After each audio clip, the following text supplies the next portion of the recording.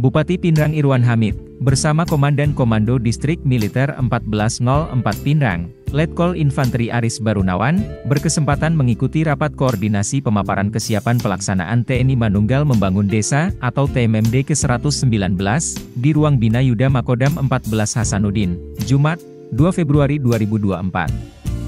Kegiatan ini juga dirangkaikan dengan pemaparan strategi pemenangan Lomba Karya Jurnalistik TMMD ke-119 tahun 2024. Bupati Pindrang Irwan Hamid pada kesempatan ini mengungkapkan, siap mendukung pelaksanaan TMMD ke-119 yang sedianya juga akan dilaksanakan di beberapa wilayah di Kabupaten Pindrang.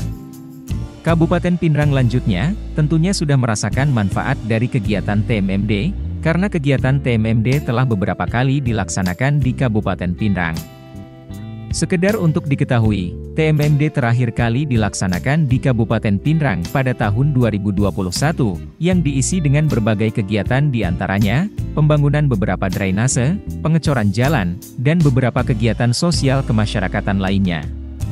Pada kegiatan ini, turut hadir Wakil Ketua DPRD Kabupaten Pinrang, Insinyur Syamsuri, Kepala Dinas Bina Marga, Cipta Karya dan Tata Ruang, Awaludin Maramat, Kepala Bapelitbangda, Andi Fahrudin, dan pihak terkait lainnya.